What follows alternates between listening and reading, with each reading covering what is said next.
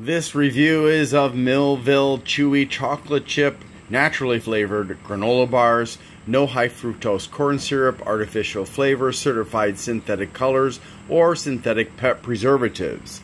Fantastic. It's also Parve, so in that respect it's safe for Jews and Muslims. Uh, let's see, I don't really think that there's anything else. Millville isn't really remarkable for exceptionality. Alright, so here we have our nutrition facts and our ingredients. Right. Let's go ahead and open up this box. Please keep in mind that uh, one bar contains 90 calories, two and a half grams of fat, of which one is saturated, and one is dis has disappeared, and half a gram is monounsaturated. How a gram of fat disappears, I don't know. There's no cholesterol, uh, only 70 milligrams of sodium, 17 grams of carbs, of which one is only one. That's insane. Is dietary fiber, seven grams of total sugar. Or sorry, of sugar total, and those are all added. And there's one gram of protein. Now, why? Let's see. Lots of sugar. Let's see.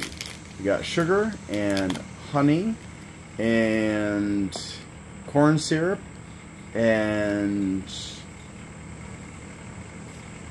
let's see more sugar in the chocolate uh, drops whole grain brown rice flour corn syrup solids sugar oh my gosh invert syrup.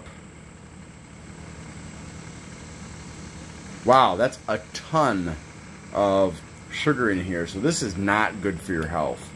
Um, even though it doesn't seem like it, it's not good for your health. In addition, it has coconut and palm oil. That's where the saturated fat is coming from. It's a good thing they didn't use more than they did.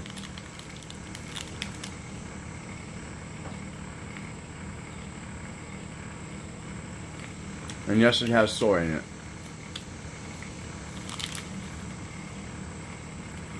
Flavor-wise, it's pleasant. I mean, with this much sugar in it, it's got to be pleasant.